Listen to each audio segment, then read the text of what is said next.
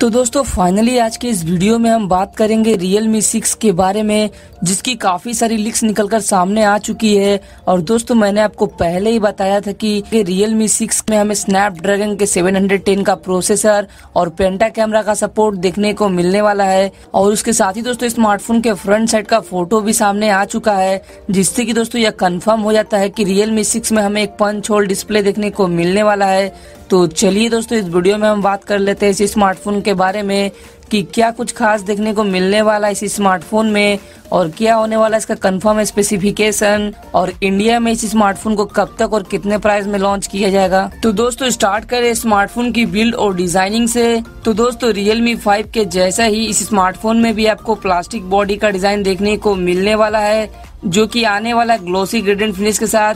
जैसा कि हमें Realme 5 में देखने को मिला था, और उसके साथ ही यहाँ पर आपको बैक साइड में ही पेंटा कैमरा का सपोर्ट देखने को मिलने वाला है।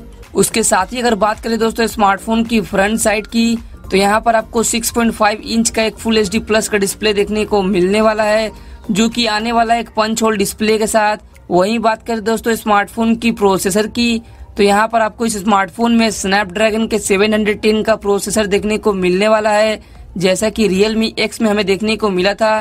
तो दोस्तों, यह ऑफिशियली कंफर्म हो चुका है कि यहाँ पर आपको बहुत ही पावरफुल प्रोसेसर देखने को मिलेगा। और वहीं बैटरी की बात करें तो दोस्तों स्मार्टफ़ोन में आपको 6000 थाउज़ेंड की बैटरी देखने को मिल सकता है। क्योंकि दोस्तों, Realme 5 में हमें 5000 थाउज़ेंड की बैटरी देखने को मिला था। तो यहाँ पर ये Realme 5 का अपग्रेड वेरिएंट है। तो दोस्तों स्मार्टफ़ोन में हमें 6000 थाउज़ेंड की बैटरी देखने को मिल सकता है, जो कि सीधे कम्पीट करेगी Samsung Galaxy M thirty S से, जिसमें कि 6000 थाउज़ेंड की बैटरी हमें देखने को मिलता है। और अब फाइनली बात करते हैं दोस्तों स्मार्टफ़ोन की रियर साइड की कैमराज की। जो कि दोस्तों स्मार्टफ़ोन का मेन सेलिंग पॉइंट होने वाला है। तो दोस्तों स्मार्टफ़ोन में आपको 48 मेगापिक्सल्स के पाँच कैमरे का सपोर्ट दिखने को मिलने वाला है, जहाँ primary camera 48 megapixels Sony I M का दिखने को मिलने वाला है, और उसके साथ ही यहाँ पर आपको 13 मेगापिक्सल 20 मेगापिक्सल्स 8 मेगापिक्सल्स और 2 मेगापिक्सल्स के चार कैमरा और देखने को मिलने वाला है। और उसके साथ ही अगर बात करें दोस्तों स्मार्टफ़ोन की ऑपरेटिंग सिस्टम की तो यहाँ पर आपको इस स्मार्टफ़ोन में एंड्रॉइड पाई का सपोर्ट देखने को मिलने वाला है, जो कि कलर ओवे सेवन के सपोर्ट के साथ आने वाला है।